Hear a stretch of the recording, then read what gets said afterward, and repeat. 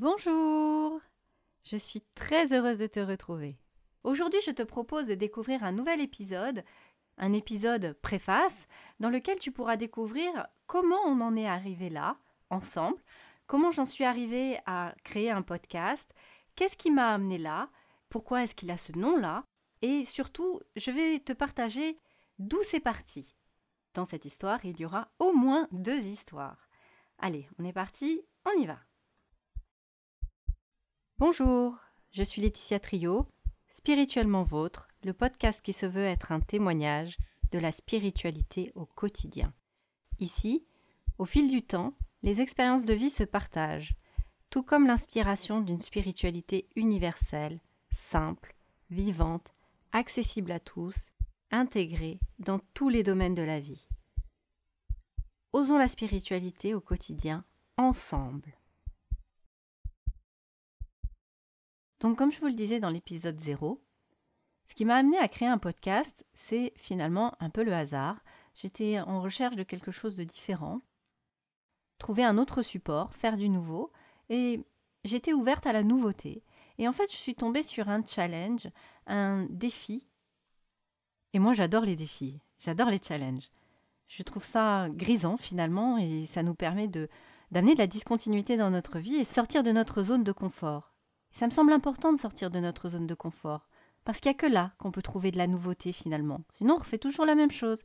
Et être en vie, c'est avoir bah, de nouvelles expériences, faire de nouveaux apprentissages, et donc se challenger, ça fait partie de la vie.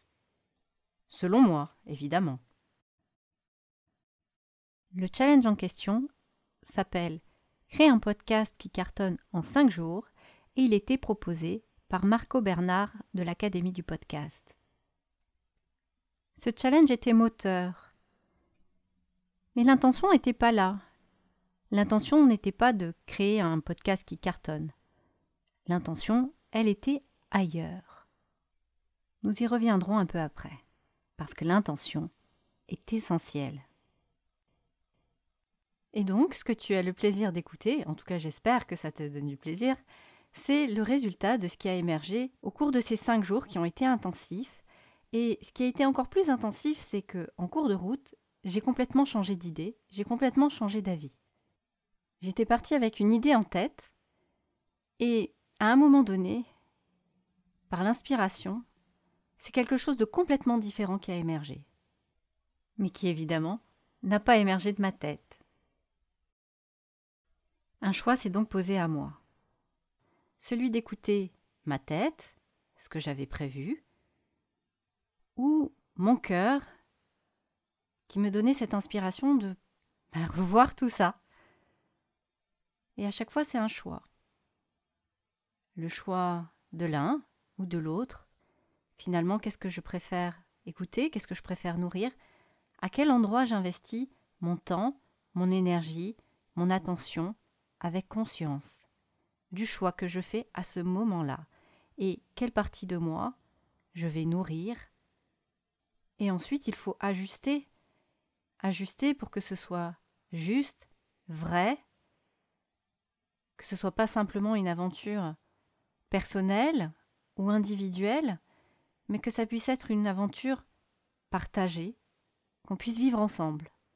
Et c'était important pour moi qu'on puisse vivre cette aventure ensemble, toi et moi, ensemble, qu'on puisse partager aussi un témoignage, parce que Bien sûr, je t'offre mon témoignage, mais toi aussi tu as la possibilité d'offrir ton témoignage de comment tu vis la spiritualité au quotidien. Comment ça se manifeste pour toi?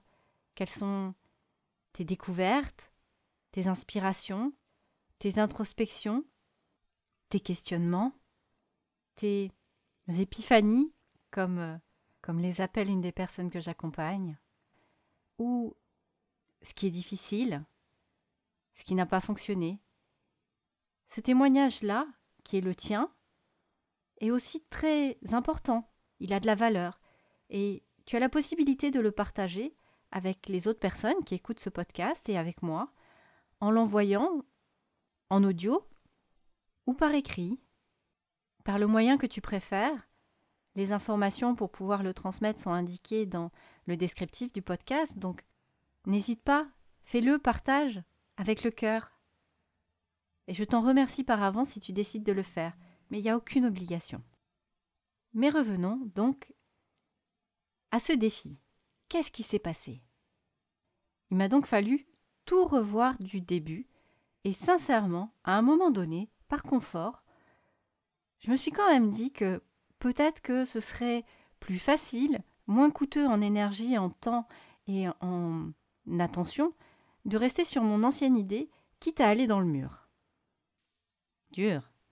Oui, j'avoue, il y a ces parties-là aussi qui existent chez moi, ce côté où, bah, parfois, hmm, la flemme, comme dirait mon fils. Et bah, je me suis pas laissée aller à cette flemme parce que c'était pas ce qu'il y avait de plus juste pour moi. Donc, je te raconte ce qui s'est passé. Déjà, comment est-ce qu'on en est arrivé à ce nom? Spirituellement vôtre.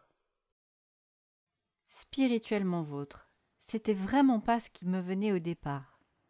J'étais partie sur complètement autre chose. Au départ, comme je l'ai indiqué dans l'épisode 0, j'étais partie dans l'idée de créer un podcast à propos du couple, à propos des relations, à propos de l'amour, à propos de ce qui se joue entre un, deux, trois et plus de personnes, et d'aborder en fait toutes les choses qui se jouent entre soi et soi, et soi et l'autre, et soi et les autres. Donc les noms qui me venaient, c'était plutôt des choses comme couple harmonieux, couple en harmonie. Ça c'était facile, c'est le nom que j'avais déjà donné au compte Instagram et au compte Facebook. Et en plus de ça, ça avait l'avantage de créer une cohérence. Du coup, il s'agissait juste de faire une déclinaison pour un autre support de communication, de partage. Et pourtant, je ressentais que c'était pas juste, qu'il fallait autre chose. Alors j'ai envisagé être ensemble, s'aimer, bref, tout ce qui pouvait être lié au couple, à l'amour et à l'harmonie. Mais au cours du challenge, j'ai vite ressenti qu'en fait, c'était pas ça. C'était beaucoup plus que ça. Et ce qui m'animait, à travers l'inspiration qui m'est venue, c'était de pouvoir élargir et surtout intégrer cette partie de témoignage. Être un témoignage de la spiritualité au quotidien. Ça, ça oui, ça, ça vibrait juste. Alors je suis partie sur d'autres noms. Pour tout te dire, j'avais envisagé un certain nombre de possibilités? J'avais pensé à d'autres choses comme être ensemble, conscience, euh, vivre ensemble, la conscience en mouvement, vivre la conscience, et même être l'élu, avec l'engagement de vrai en conscience. Tout ça, si on le regarde, si on l'observe de plus près, euh, après avoir écarté en fait euh, cette possibilité d'être focus sur le couple, toutes ces choses-là, elles tournent beaucoup autour de la conscience. Mais il y a beaucoup de gens qui parlent de conscience et qui, dans cette notion de conscience, mettent autre chose dedans et, et c'est pas de la spiritualité et c'était vraiment vraiment important pour moi euh, de pouvoir amener ce quelque chose d'autre, d'y ajouter cette flamme, cette vie, ce souffle, cette vibration, cette profondeur. Mon intention, elle, est vraiment que, ensemble, nous puissions intégrer davantage de spiritualité dans toutes les parts de notre vie. C'est vraiment ça qui est important. Que la spiritualité, ce ne soit pas quelque chose qu'on vit à part de notre vie, à part de notre quotidien, parce que il y a trop de personnes qui, vivent la spiritualité de cette façon-là, et finalement, les seuls moments où elles vivent leur spiritualité, c'est dans ces moments où elles vont à l'église, au temple, et puis c'est aussi quand, euh, quand elles prient, quand elles méditent, et tout le reste du temps, en fait, bah, il n'y a pas de spiritualité en pratique dans, dans le reste de leur vie, et ça, je trouve ça vraiment triste. Mais c'est pas toujours évident de savoir comment est-ce que je fais rentrer plus de spiritualité dans ma vie.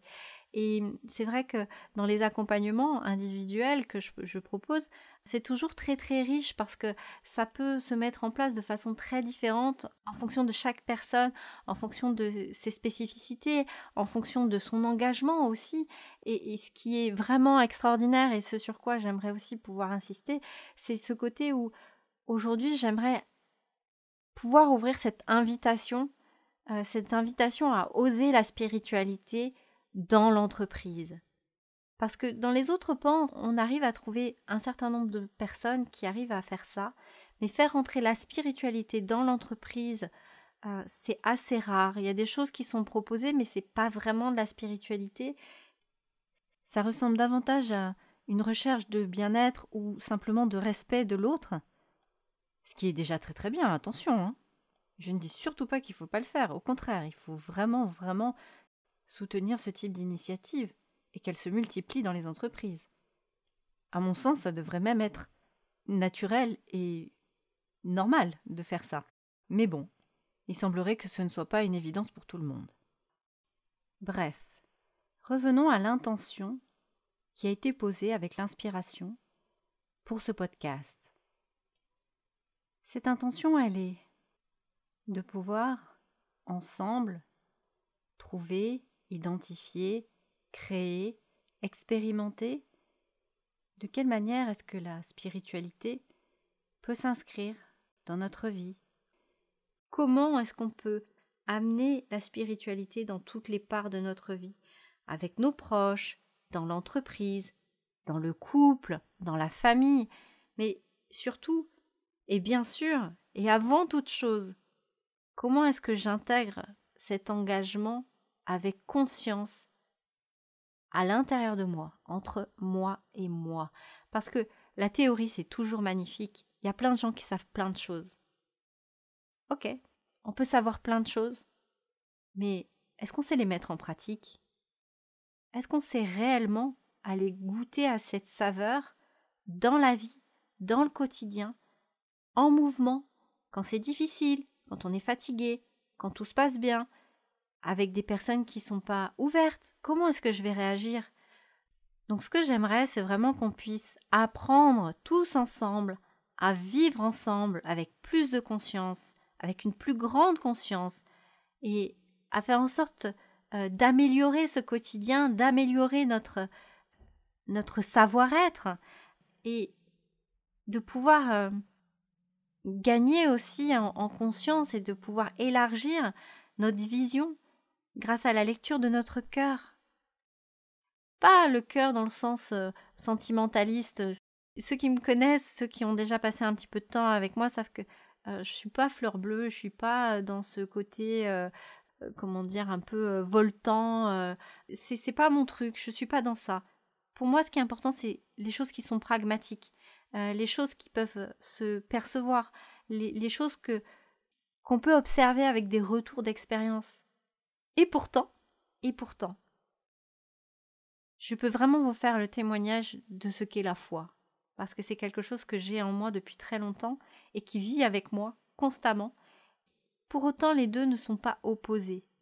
On peut être parfaitement pragmatique, avoir euh, une vision, une démarche très scientifique, être euh, bah, dans la matière, et en même temps avoir cette ouverture à l'invisible, à ce qui pas clairement palpable, puisque ce qui est dans, l'invisible a une réalité et euh, d'une certaine manière est perceptible. Et mon souhait, c'est de pouvoir vous partager tout ça et que vous puissiez, vous aussi, euh, faire vos choix, faire vos expériences et devenir vous-même un témoignage. Et je suis convaincue que c'est en étant témoignage que nous pouvons montrer à d'autres eux aussi elles aussi, elles peuvent prendre ce chemin d'amélioration, de perfectionnement, de sublimation, qui nous fait aller vers quelque chose de plus grand, plus beau, de tendre vers un haut idéal, et de pouvoir voir et reconnaître le divin qui est là en chacun de nous et qui ne demande qu'une chose être révélé et nourri et qu'on puisse l'incarner. C'est en cela que ce titre, spirituellement vôtre, est porteur de sens. Parce que je suis là, spirituellement, pour vous, ou en tout cas pour la part divine en vous. C'est votre espace, c'est notre espace que nous partageons ensemble. Cela étant posé, j'ai envie de vous faire une invitation celle de prendre le temps, quand vous faites un choix, d'observer mais finalement ce choix, pour quelle part de vous est-ce que vous le faites? Pour quelle raison est-ce que vous le faites, ce choix? Et pas un autre. Pour savoir finalement quelle partie de moi est-ce que je choisis de nourrir. La prochaine fois, je raconterai une petite histoire. Une petite histoire importante et qui donne du sens à ce pourquoi est-ce que j'œuvre ainsi aujourd'hui je pensais la raconter aujourd'hui, mais comme je suis bavarde, le podcast est déjà bien long, et je préfère euh, vous le raconter peut-être à part. Aujourd'hui, on, a finalement abordé des choses que j'avais pas envisagées, mais l'inspiration est ainsi faite. C'est que c'était juste comme ça.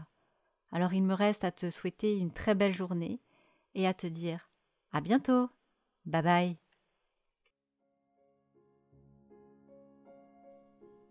Parmi les choix posés en conscience pour ce podcast, il y a eu le souhait qu'il reste indépendant. Pour qu'il puisse fonctionner, perdurer, nous avons besoin de faire appel à la générosité des bonnes âmes, ou plutôt à leur charité. Ainsi, dans ce podcast, nous n'avons pas recours ni au placement produit, ni à l'affiliation. On ne propose pas non plus la diffusion de publicité que nous proposent certains annonceurs. Ainsi, pour pouvoir perdurer, nous avons besoin de ton soutien. Financier, bien sûr, mais aussi d'autres natures. D'un point de vue financier, tu peux choisir de réaliser une donation libre et consciente. Pour que celle-ci puisse être réalisée, tu trouveras toute information utile dans la description du podcast. Grâce à ton don, à cette générosité du cœur, de nouveaux épisodes pourront être offerts et nous pourrons continuer à partager des contenus, des témoignages et aussi des inspirations. Si tu aimes ce podcast, si tu l'apprécies, nous t'encourageons à le partager à d'autres.